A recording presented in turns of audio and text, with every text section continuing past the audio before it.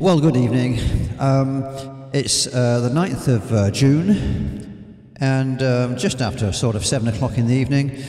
And um, what I thought I'd like to do for you this time was the most beautiful piece of music, and uh, it's by Liszt, and the name of the piece is called Consolation. Um, now, um, I thought about this earlier on, and uh, basically, I've uh, it's a bit funny actually. I uh, I've done Chopin, and now I'm about to do a piece by Liszt, and now I've got my shopping list. I thought that was funny actually. I go out tomorrow and take it with me and do my shopping. Um, anyway, without further ado, thank you again for uh, watching and listening to me. Uh, basically, this is my own arrangement of it. I have no music whatsoever to go by with this, so um, it's uh, hopefully, but you'll like it anyway. Here we go.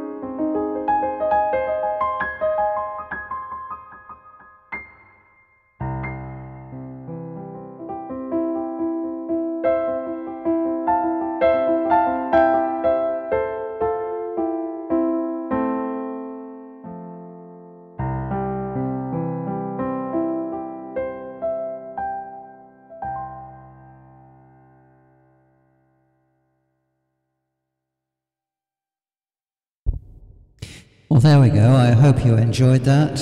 Um, my own, as I said, my own arrangement, and not going by music at all. So um, I hope it was uh, good enough and presentable uh, for you. Um, so uh, catch you next time. Thank you very much.